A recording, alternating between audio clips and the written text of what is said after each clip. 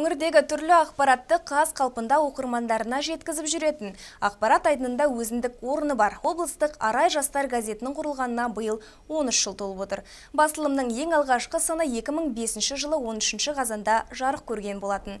13 жылдық еңбек газет үшін аз уақыт болып көрінгенімен бұл басылым бүгінде өзіне тән стилін қалыптастырып үлгерді.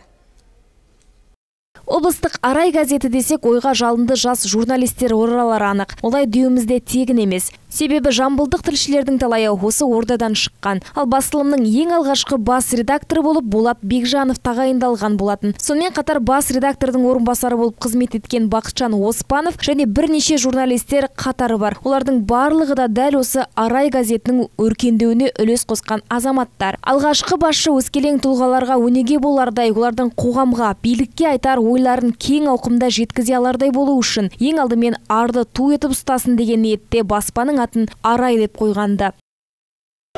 Жалпы арай газетінің қазір он үш жыл он үш жылда арай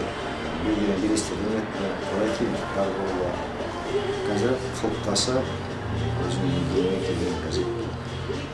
Газеттің жұмысы телевидениеден өте қиын қызық. Қазіргі таңда бұл мекеме 20 адамды тұрақты жұмыспен қамтып отыр. Бүгінгі таңда құт мекен өзінің тарихында талай таланттың тұсауын кескен құтты шаңыраққа айналып та үлгерді. Ал газет басшысы алдағы уақытта жастарға үлкен қолдау көрсетуді жоспарлап отқандығын айтуда. Осыған орай ұжым бірлесе отырып жастарға арналған лайфхак және жамбылдық жастар атты айдарларын жүзеге асырған. Одан бөлек мемлекет қолдау көрсетсе, мекеме жастарға арнап шағын орталық ашуды да жоспарлап отыр. Онда өңіріміздің беделді тілшілері іс тәжірибелік дәріс дәрістер өткізетін болса кейінгі ұрпаққа үлкен жігер болмақ дейді басшы. Өз тарапымыздан тағы да басқа да көптеген дүниелерді жасап жатырмыз. Оны енді қазір оның бағасын халық береді ғой.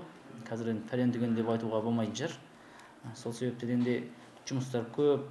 Алдағы уақытта егер де бізге мүмкіндік қаралық билік тарапынан қолдау болып жатса жастарды біріктіретін жерде бір медиа мектеп жасасақ деген ойымыз бар.